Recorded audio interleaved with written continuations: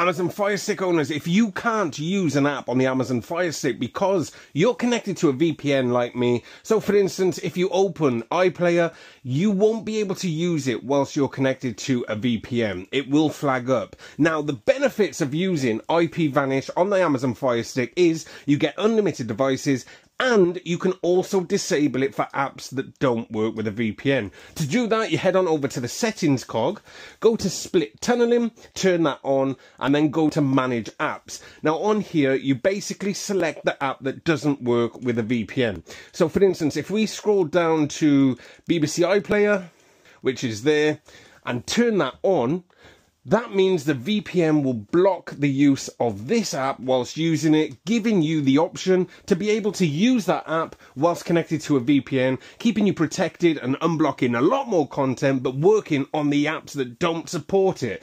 Super simple. If you want IP Vanish, there's an offer where you can get 84% off. I'll link it up on my TikTok profile. Go and get it before the offer ends.